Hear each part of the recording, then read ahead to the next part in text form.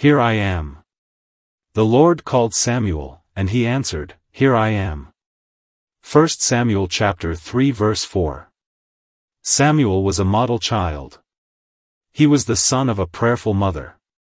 Hannah is one of the most notable pietists mentioned in the scriptures. She possessed a truly original mind, but she was yet more famous for her piety a woman who knew how to take her griefs to the mercy seat and cast them upon her God. So Samuel came of good stock but, that which is born of the flesh is flesh, and he would have been none the better for his godly parentage unless the Spirit of God had early in life renewed his heart. May our dear children all grow up as Samuel did. And that they may do so, may they in their early life be such children as Samuel was. It is to be noticed how obedient Samuel was to his guardian who stood to him in the place of a parent. We do not read of any disobedience or discourtesy to Eli. On the contrary, we see that the greatest respect and attention were paid by the child to the aged man who had the care of him. There is nothing in a child more beautiful than obedience and a young Christian should be careful to keep his proper place and the more he knows what his privileges are in being a child of God, the better should he fulfill his duty as a child at home. The child Samuel was consecrated to God from his earliest days. His mother gave him to the Lord and he, himself, confirmed the consecration. Happy is the child who is God's child and who can say as truly as Paul said, For to me to live is Christ. Such grace is seen even in children may it be seen in all the children of all the families connected with this church. Samuel also had the great privilege of growing up amid holy services. He saw the daily sacrifices offered in the sanctuary and he was probably not absent from any of the means of grace of that day. Parents do their children grievous wrong when they do not allow them to go with them to the house of prayer. I have noticed, when the showers are falling, that you who try to keep a few pots of flowers in this smoky London, set them out to get the benefit of the rain. And you not only put out the large plants, but you put out the little ones, too, so that the precious drops may fall on them. Let your little children, like the little pots of flowers, be put under the gracious showers of the sanctuary and who knows how largely God might bless them? If children cannot understand all that is said, I think that where the preaching is what it should be, even a small child will remember something and perhaps understand it better, by and by. Further, Samuel was a child who was not merely given up to God and brought up in God's house, but he was doing God's work. He could not offer sacrifices, but he could trim the lamps. He could not speak like Eli, but he could open the doors of the Lord's house and it was as necessary that somebody should open the doors as that somebody else should be inside when the doors were opened ready to attend to the more important parts of the solemn service. Happy, happy child, whose earliest work is work for God, whose earliest hearing is hearing the voice of God, whose earliest breath is spent in the praise of God. God grant, of his infinite mercy, that our children may be such children, and he shall have the praise. I am going to apply Samuel's little speech, here I am, specially to grown-up people, yet I am not going to exclude children from the application. When God called Samuel, he answered, Here I am. Now, first, what did this show?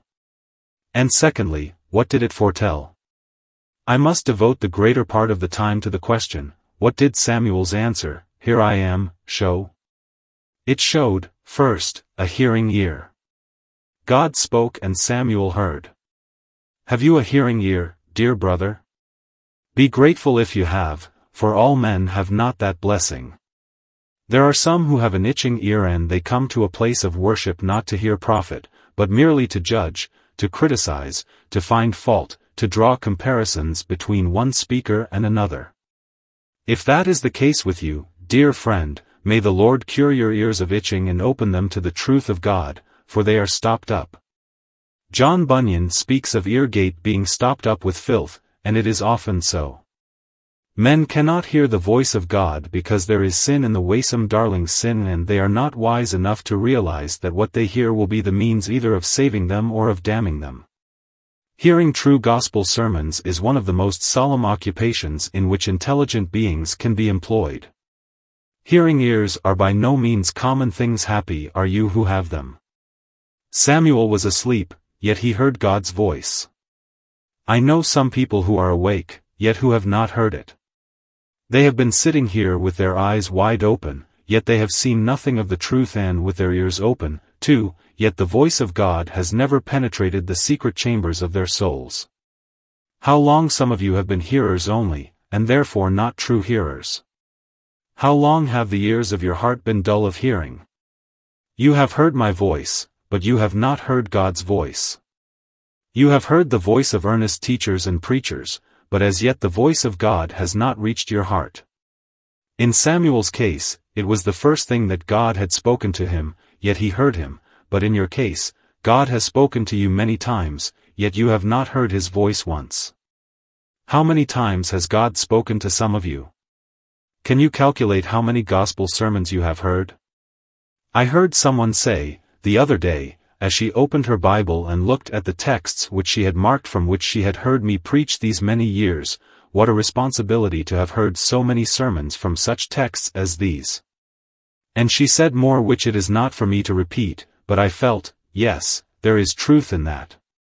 If God has sent us to preach His word, you may depend upon it that He will resent it if you do not hear the message that He sends to you through us. It will not merely be a rejection of the ambassador of Christ, but a rejection of the King who sent him to you. Therefore, I pray that God may give to each one of you a hearing ear. I expect that the voice of God to Samuel was only a faint call. It was in the night watches and I suppose that the Lord spoke softly, Samuel, Samuel. Yet Samuel heard at once. But the voice of God to some of you has been a loud one. He has spoken to you not only in loving exhortations, but with the voice of threats. You have had Christ set before you in the gentleness of his love, but you have also seen him in the terror of his vengeance. You have heard concerning the wrath to come, the pit without a bottom and the fire that never shall be quenched. I can say, with Paul, that I have not shunned to declare unto you all the counsel of God. I have not kept back anything from you, however terrible his truth was.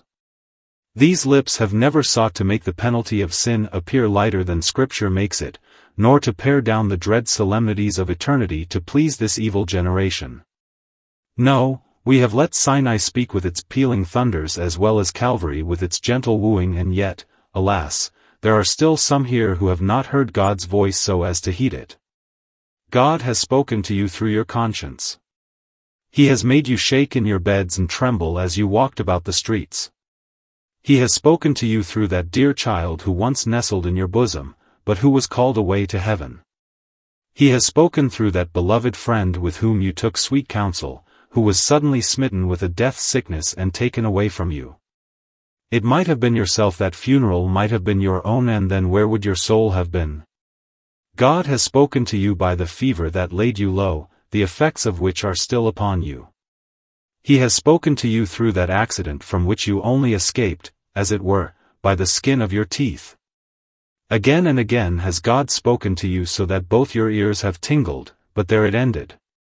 The avenue from your ears to your heart has still been blocked up by the devil and his angels and by your sin. And as yet you have not answered the divine call and said, Here I am. If you were deaf, you might be excused for not hearing. But you have ears, yet you hear not.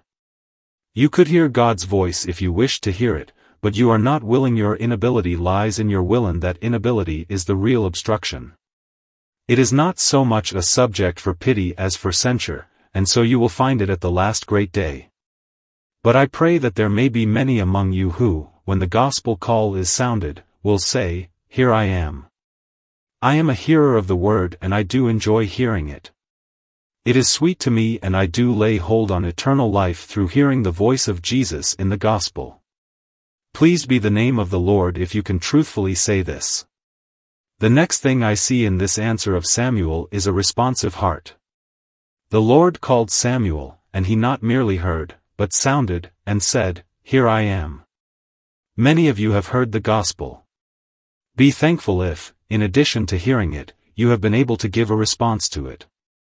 I remember the first response that I gave to the gospel. It threatened me with punishment for my sin and when I was able to respond to it, I said, I deserve that threat and I bow my head to the dust, and, for some years the only part of the gospel to which I could respond was that part which destroyed my self-righteousness and my carnal hopes and made me feel that I was lost. Now, if you cannot go any further than that, thank God that you can go as far. If, when the word that is preached to you says, you have broken the law of God and you must pay the penalty for your disobedience, you say, Here I am. I cannot complain of the justice of the sentence. I thank God that you can go as far as that. There is something of the life of God in the soul that yields its assent and consent to the denunciations of divine justice. But, beloved, how much better it is when you can go further than this. Some of us can recollect when we went further, when the voice of God sounded over the mountains of our guilt and said, Look unto me, and be you saved, all the ends of the earth. And we replied, Here I am, and we looked unto him and were lightened and our faces were not ashamed. Christ said, Where are you, sinner? And we said, Here I am. Come, he said, to my cross. Are you there, sinner? And we answered, Here I am. I am looking down with love, he said. Look up with joy if you are there. And we answered, Here I am. Oh, it was a blessed thing for us when we had come to that point where Christ would receive us, where the gospel spoke of pardon and we accepted it. Where the gospel spoke of simple faith and we exercised the simple faith which God had given to us. Where the gospel spoke of putting away sin and we rejoiced to have it put away. Where the gospel spoke of repentance and we rejoiced to have repentance and to forsake the world and to follow Jesus. In addition to having a hearing ear and a responsive heart, it is clear that Samuel had a teachable spirit. When the Lord called Samuel, he said, Here I am. That is to say, I am ready to hear what you have to say to me. Speak, Lord. I only want you to speak and it shall be enough for me. I am your willing disciple, waiting to learn whatever you will teach me. I do not know any position that is better for a Christian to occupy than that of sitting with Mary at the Master's feet and looking up into his face, saying, Lord, I love you and I know something of your truth, but have you not more of it to teach me? Lord, is there any duty which you have enjoined upon your followers, but which I have not yet seen to be a duty? Then show it to me Lord, for here I am, waiting to know your will. Is there a doctrine that I have kicked against, which is, after all, your doctrine? Then, Lord, instruct me in it. Will it cause me to forsake my former associates if I am true to you? If it must be so, I will give it all up. Lord, here I am, waiting to learn of you. It is the lack of this resolve that makes so many denominations in the world today. Most professors never look in the Bible to see what is right and what is wrong. Their father and mother went to a certain place of worship, so they go to it. They saw things in a certain light and their children do the same. But they never search the scriptures to see whether these things are so or not. I am afraid there are many Christians and some ministers, too, who would be afraid to search the scriptures lest they should learn too much from them. We should soon end all the divisions in the Church of Christ if we took this blessed book online no book of prayer, no book of sermons, no book of devotions and no catechism as our rule of life nothing but this book and opened it, saying, Lord, speak, for your servant hears. Whatever you have to say to me, here I am, waiting to know and to do your will. I ask every Christian here whether he can honestly say that he has given up his mind to be molded by the Holy Spirit whether, upon questions that are in dispute among men, he has really searched the scriptures and whether he is prepared at all costs to follow the truth of God wherever it leads him? For this is both the duty and the honor of the Christian and in that day when the Lord shall stand upon Mount Zion, the hundred and forty and four thousand who shall be especially honored will be those who follow the Lamb wherever he goes. Notice those words, wherever he goes. Following the Lamb in little things and great things, in doctrinal matters, in the Christian ordinances not following man's custom, nor any church's regulations, but following the Lamb wherever he goes.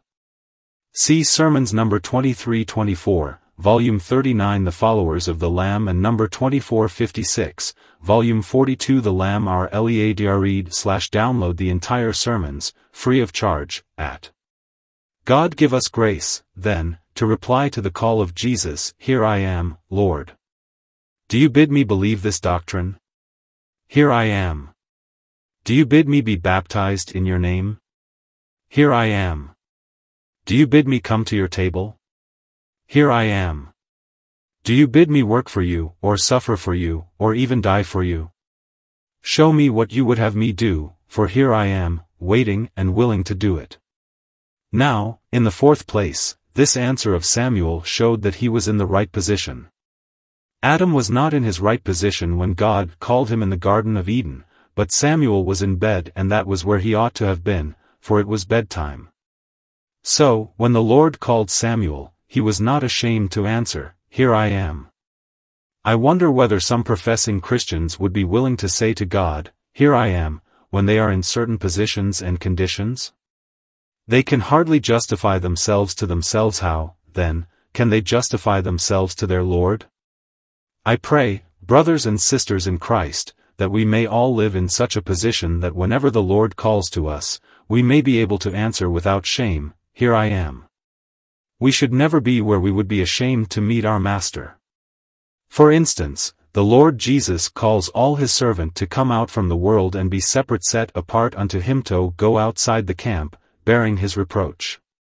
Suppose he were to come here tonight and begin to speak to us about being separate from sinners could each one of you answer, Lord, here I am.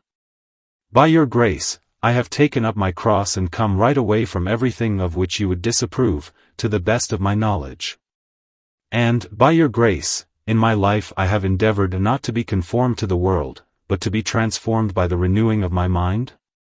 Further, the Lord Jesus Christ bids his children join in fellowship with one another by uniting in Christian churches. Suppose he were to come tonight and to ask us who profess to be his, are you all joined together in the bonds of Christian union that I ordained for you? Are there not some Christians here who never made a scriptural profession of their faith and who, therefore, could not reply, Here I am? Where are you, then? Oh, I am sneaking away somewhere in the background for fear anybody should find me out. I am afraid I should be jeered at if I were known to be a Christian. Oh, you coward! Have you never read that solemn message of Christ, Whoever shall be ashamed of me and of my words, of him shall the Son of Man be ashamed when he shall come in his own glory, and in his Father's, and of the holy angels? When the muster roll of the visible church is called, it is a great comfort for anyone to be able to answer, Here I am. Besides that, the Lord Jesus would have his people meet together for prayer. On the next prayer meeting night, will each one of you be able to answer, Here I am? I hope so. Yet there are some of you whom I do not very often see at the prayer meeting. I have no fault to find with the most of you, for you love the house of God and you love to meet with the saints for prayer and praise and worship. But there are some who forsake the assembling of themselves together. A brother prayed, recently, for those who were detained on beds of sickness and armchairs of laziness and I am afraid there are a good many of the second sort. Do not you be one of them, but when the roll of those that meet together for prayer is read, may you be able to reply when your name is called, Here I am. Christ would also have his people work for him.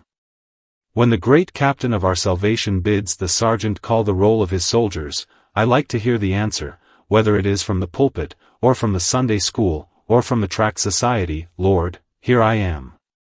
Here I am. Here I am. But what has become of that man who was so zealous five years ago? I do not hear him say, Here I am.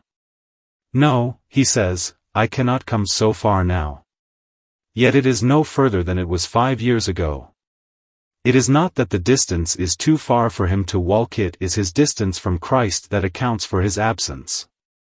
But when the roll was read just now, where was that man who used to teach in the Sunday school ten years ago? He has given up, he says, to let the young people have a turn.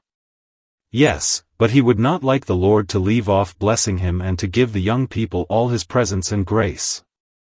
Suppose the sun were to say, I have shone long enough and I shall put out my flames? And the air were to say, I have supplied breath long enough? And the sea were to say, I have pulsed long enough as the lifeblood of the world? And the earth were to say, I have yielded bread long enough? Where would we all be?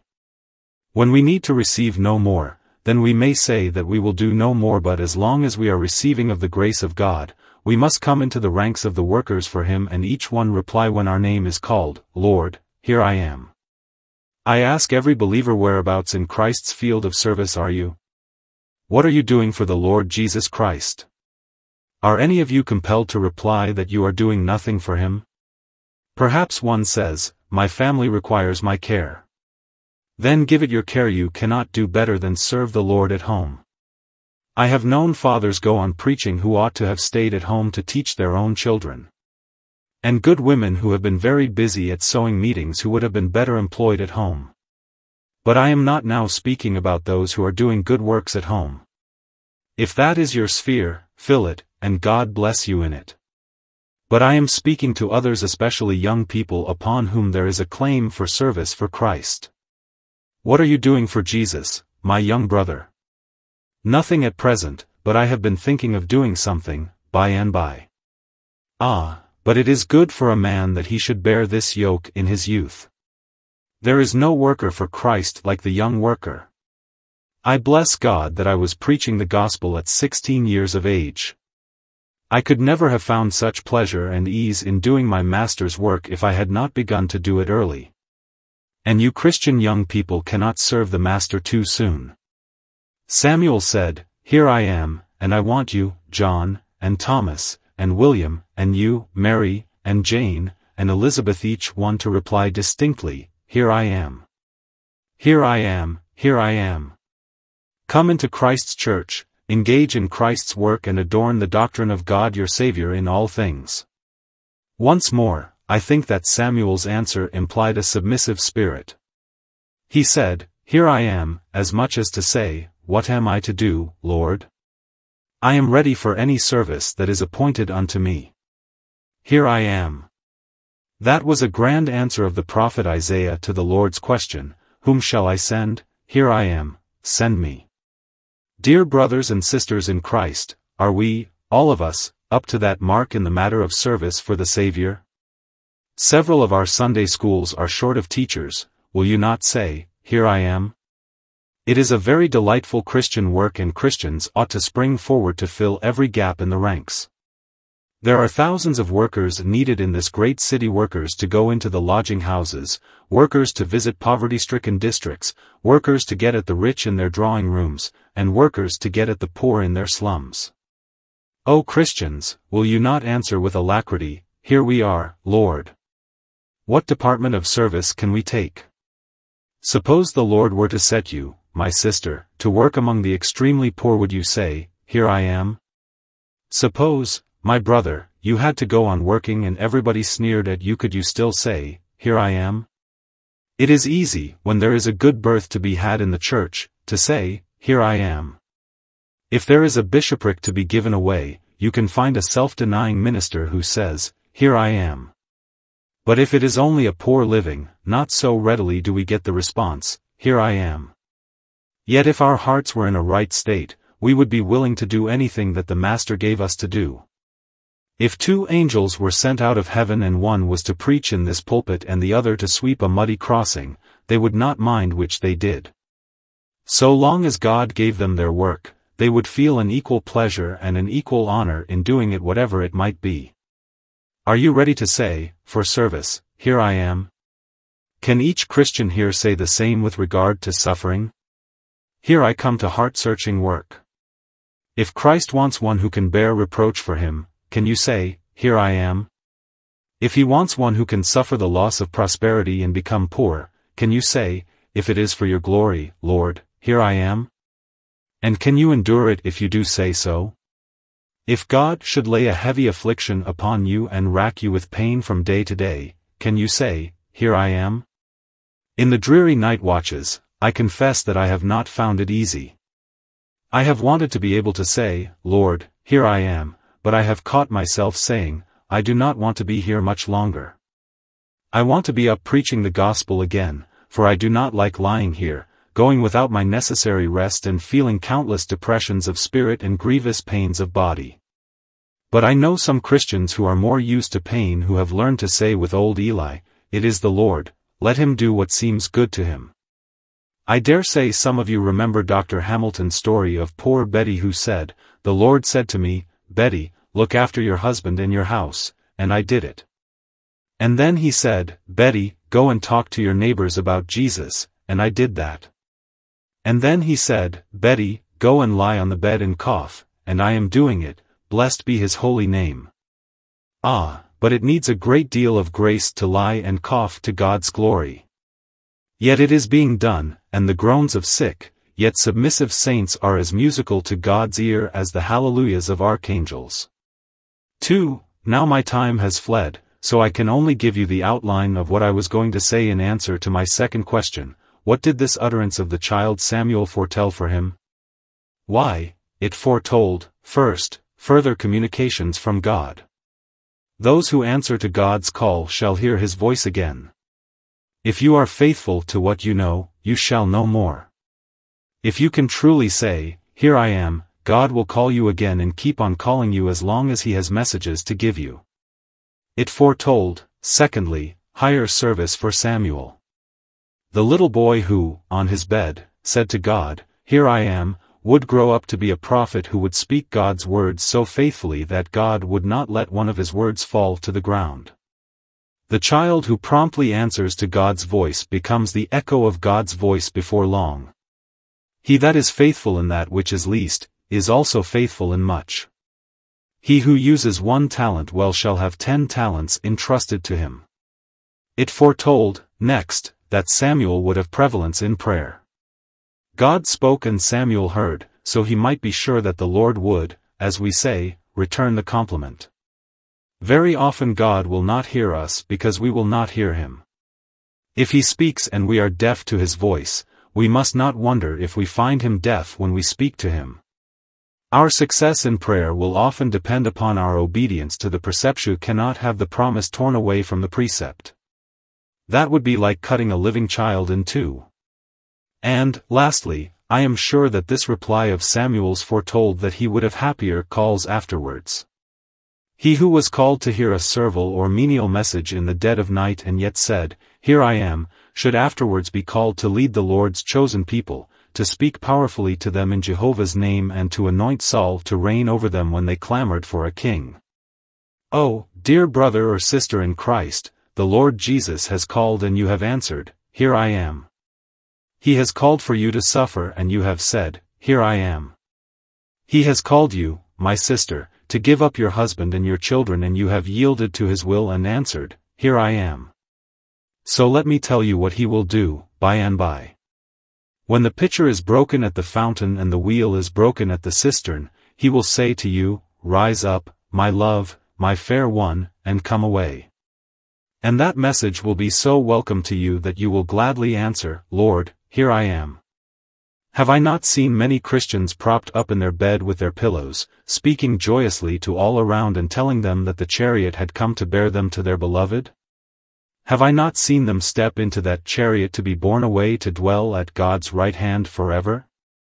That was their way of saying to the Lord, Here I am. Their bodies slumber in the dust, as yours and mine shall do before long unless the Lord shall first come in one of these days, when we are lying beneath the sod, and the daisies are blooming above us, there will come the sound of the archangel's trumpet. And the Lord's voice will be in it and he will call, Samuel. Samuel. And you will recognize his voice, and know your own name, and you will answer, Here I am. And your very dust shall rise again to be reanimated in a nobler image and made like unto your Lord.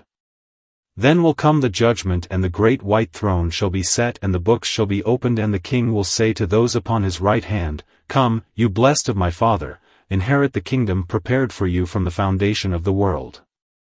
What a joy it will be to each one of his saints then to answer, Here I am, Lord.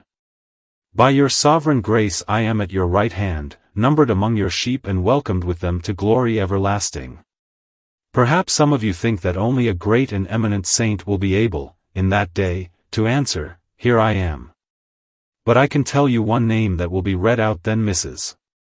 Much afraid, and she will answer, Here I am. There will be something strange in her voice, for she never used to speak like that when she was down here. But now she speaks up as boldly as Paul himself does, Here I am, Lord. And ready to halt, without his crutches, will answer as bravely as any of the apostles. And poor members of the church who were not much noticed on earth, will each one answer, Here I am. And that feeble one who was always doubting, trembling, fearing, fretting and worrying yet for all that did somehow rest in the Lord will answer, Here I am. I think the music of heaven would lose its sweetest note if there were not many a little one there to answer, Here I am. If, on Christmas night, when you were gathered around the blazing fire and the big log was burning on the hearth, and you were ready to sing for joy, if, I say, somebody were to ask, Where is the baby? There would be but one answer, What? Is she not here? Mother does not know where she is, does not father know? No, he thought the little one was all right. Do not her brothers and sisters know where the little one is? Suppose someone should say, Don't worry yourselves about her, you be merry among yourselves. But mother cannot be merry without her baby, and father cannot rest, and brothers and sisters cannot rejoice as long as the little one is not there to share their joy. And I can tell you that God, himself, and Christ, himself, and the Holy Spirit, himself, and the holy angels and all the host of the redeemed could not be happy in heaven if one dear child of God who had trusted in Jesus should be missing at the last great day. They would stop the angelic harps to find that lost one, and empty out heaven, and send every angel and every saint out as a scout to find this poor little lost one that cannot be lost. If you are trusting in Jesus, answer to your name now, and say to Christ, Lord, here I am. And then you will be able to say to him, before the throne, Here I am, Lord, and here will I adore you forever and forever. God bless you, for Christ's sake. Amen.